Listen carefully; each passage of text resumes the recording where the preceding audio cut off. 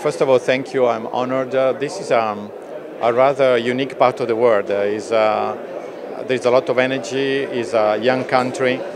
And, uh, and we're just beside the Museum of the Future, which is to me says a lot about the mindset of this region. So honored to discuss here today about the future of jobs uh, for the fourth industrial revolution.